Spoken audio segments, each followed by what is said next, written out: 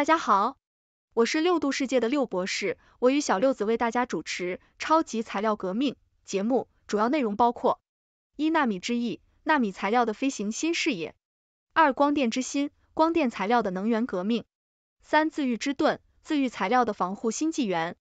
那么，小六子可以先跟我们说说纳米之翼，纳米材料的飞行新视野。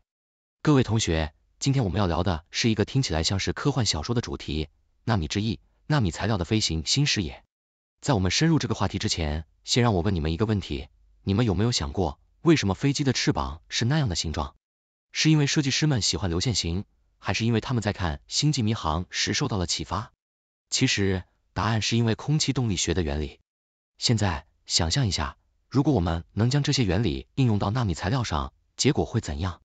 纳米材料，顾名思义，就是那些在纳米尺度（一纳米等于十亿分之一米）。上工作的材料，它们的特性与我们日常生活中看到的材料截然不同，甚至可以说是微观世界的魔法。纳米材料的飞行新视野。首先，纳米材料的强度和轻量化特性，使得它们在航空航天领域的应用前景广阔。想象一下，如果我们能用纳米材料制造飞机的机身，飞机将会更轻、更强、更省油，甚至可能在飞行中实现自我修复。是的，你没听错，自我修复。这就像是超级英雄的能力，只不过他们是由碳纳米管和石墨烯构成的。有趣的故事，让我给你们讲一个有趣的故事。几年前，一位科学家在实验室里进行纳米材料的研究时，意外发现了一种新型的纳米涂层。这种涂层不仅能让飞机表面变得光滑，还能减少空气阻力。于是，他兴奋地把这个发现告诉了他的同事。结果，他的同事们都只以为他在开玩笑，甚至有人说。你是不是在为你的下一个科幻小说找灵感？但这位科学家并没有放弃，最终他成功的将这种涂层应用到了实际的飞行器上。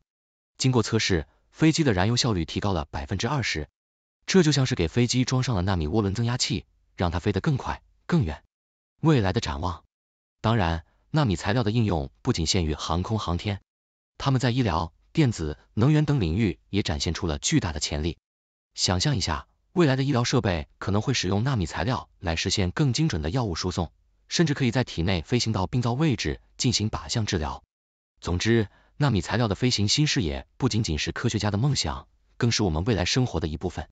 或许有一天，我们每个人都能拥有一架纳米飞行器，在空中自由翱翔，享受那种飞行的感觉。当然，记得系好安全带，毕竟飞行的乐趣可不能让纳米材料来承担责任哦。谢谢大家，期待你们的提问。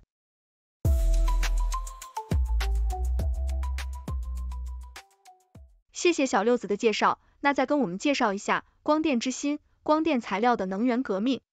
各位同学，今天我们要聊的是一个既古老又年轻的话题——光电材料。听起来像是科幻电影里的高科技，但其实它们早在我们祖先的时代就已经埋下了种子，只是我们现在才开始真正发掘它们的潜力。首先，让我们回到古代，想象一下几千年前的某个阳光明媚的日子，古埃及的祭司们在金字塔旁边用太阳光照射水面。试图用光的反射来预测未来，虽然他们可能没有成功，但这无疑是光电现象的早期探索。可惜的是，他们没有发明光电池，否则今天的埃及可能会是个能源大国。进入现代，光电材料的真正革命始于二十世纪。一九五四年，贝尔实验室的科学家们发明了第一块硅太阳能电池。想象一下，那时的科学家们可能在实验室里像孩子一样兴奋，手舞足蹈的说：“我们可以用阳光发电了。”而他们的同事们则在一旁默默的想，这玩意儿能卖多少钱？光电材料的魅力在于，它们能够将光能转化为电能，简直就像是把阳光装进了电池里。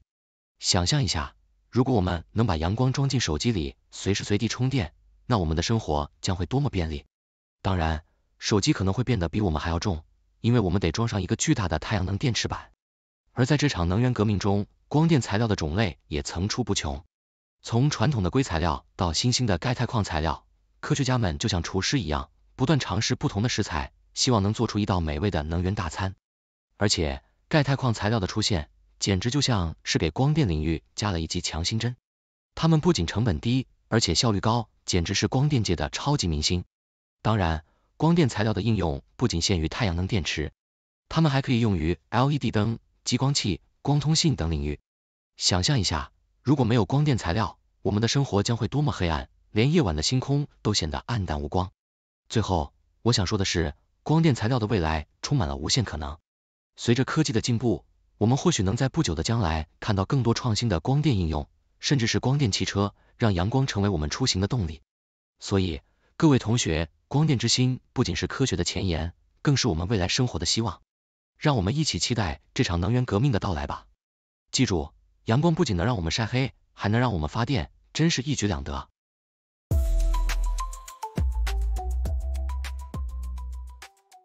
谢谢小六子的介绍，那再跟我们介绍一下自愈之盾，自愈材料的防护新纪元。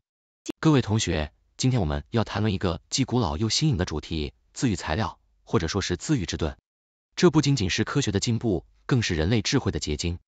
想象一下，如果我们的衣服、手机壳，甚至是建筑物都能自我修复，那生活会变得多么美好！就像是超级英雄的披风，无论多么摧残，总能恢复如初。首先，让我们回顾一下历史，古代的修补技术就像是今天的自愈材料的雏形。比如中国的陶瓷修复技术，工匠们会用金漆修补破损的陶器，这不仅是修复，更是一种艺术，称为金善。这种技术告诉我们，破损的物品也能因为修复而变得更美丽，这不就是自愈材料的精神吗？进入现代，自愈材料的发展可谓如火如荼，科学家们从自然界中汲取灵感，发现某些生物，比如某些种类的海绵和植物。能够在受损后自我修复，这让我们想到了自愈这个概念。于是，科学家们开始模仿这些自然现象，研发出各种自愈材料。例如，某些聚合物在受到损伤时，能够通过化学反应自动修复。想象一下，你的手机屏幕不小心摔了一下，却能在几分钟内自动恢复，这样的科技简直让人想要为它写首诗。不过，这样的材料还在研发阶段，现在的手机还是需要小心翼翼的对待，否则就只能去找修理店了。再来，让我们谈谈自愈材料的应用。这些材料不仅可以用于电子产品，还可以用于建筑、航空航天等领域。想象一下，未来的飞机机翼如果能自我修复，那么飞行的安全性将大大提高，甚至可以让飞行员在空中喝杯咖啡，心情愉快的享受飞行。当然，这一切的发展也伴随着一些挑战。自愈材料的成本、耐用性和环境影响等问题仍需解决。就像我们在生活中遇到的困难。总是需要时间和智慧去克服。最后，我想用一个幽默的比喻来结束今天的分享。自愈材料就像是我们生活中的懒人神器，它让我们在面对损坏时，不再需要像超人一样飞去修理，而是可以悠闲的坐在沙发上，享受生活的美好。希望未来的科技能让我们的生活更加轻松愉快，让自愈之盾成为我们生活中的一部分。谢谢大家，希望你们对自愈材料有了更深入的了解，也期待未来的科技能带给我们更多惊喜。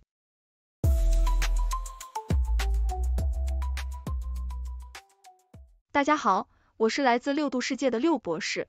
今天的主题真是让人兴奋，从纳米之翼的飞行新视野到光电之心的能源革命，再到自愈之盾的防护新纪元，我们探讨了几个令人惊叹的科技领域。在这次的分享中，我们了解到纳米材料如何改变航空航天的未来，光电材料如何为我们的能源需求带来革命，以及自愈材料如何让我们的生活更加便捷。听起来是不是像是在看一部科幻大片？但实际上，这些技术正在悄然走进我们的生活。或许你身边的某件物品，未来就会有这些高科技的身影。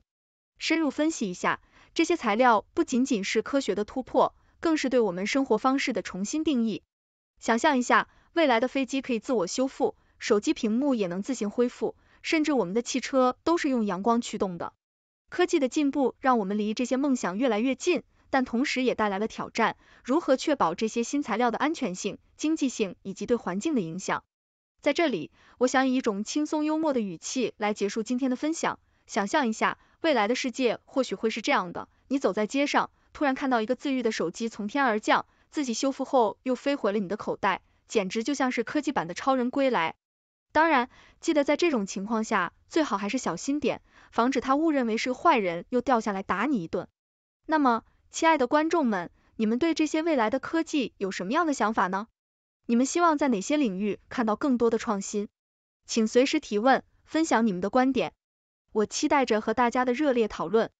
谢谢大家收看六度穿越系列节目，这个节目由媒体专业人士、科学家、工程技术人员编纂、设计、制作。但是这些内容并非用于做出决策或法律裁定的基础。欢迎在节目留言区发表您的见解，纠正节目可能存在的错误。谢谢大家收看。